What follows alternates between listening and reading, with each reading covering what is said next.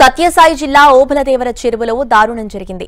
పేదలకు ఇచ్చే బియ్యం రాకుల తూకంలో మోసం చేస్తున్న వాహనదారుని ప్రశ్నించినందుకు వాలంటీర్పై దాడి చేశాడు మొత్తం నలుగురు కలిసి వాలంటీర్ను చితకబాదారు. తీవ్ర గాయాలతో వాలంటీర్ ఇర్ఫాన్ను కదిరి ఆసుపత్రికి తరలించారు.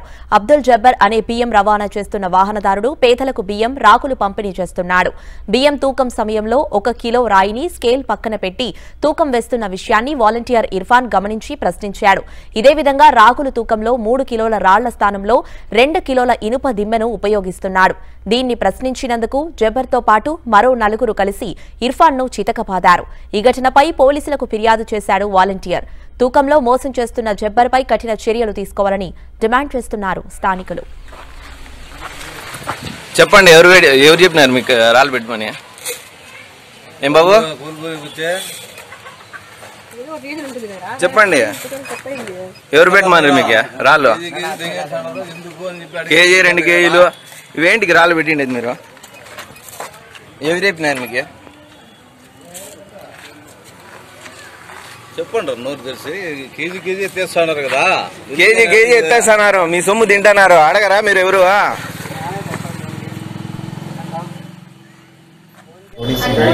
జబ్బార్ సాబు అనే బియ్యం బండి అతను దగ్గర.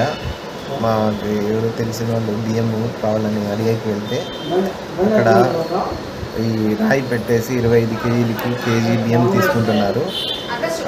ఏదో రాళ్ళు ఇట్లాంటివన్నీ పెట్టి చేస్తున్నారు. ఎందుకు మీరు ఇట్లా చేస్తున్నారని అడిగినందుకు ఇట్లా తీసుకోకూడదు కదా మీరు ప్రయలసం అని అడిగినందుకు. మేము తీసుకునేదే మాకు తక్కువ వస్తున్నాయి బియ్యము ఎవరు చెప్పుకున్నారు చెప్పుకోకండి అని చెప్పినారు. నేను వెంటనే సిఎస్డిటి మేడంకి కాల్ చేశాను. మాట్లాడుతుంటే నా సెల్ తీసుకొని పగలు కొట్టేసి వాళ్ళ నాన్న జబ్బార్ సాబ్ అనే అతను వాళ్ళ కొడుకులు ఇద్దరు నా మీద కొట్టి తలకి ఏదో ఇనుప దీంతో కొట్టేసి గొంతు మీద సీసీ రోడ్డు మీద పడుకోబెట్టి నలుగురు కొట్టారు.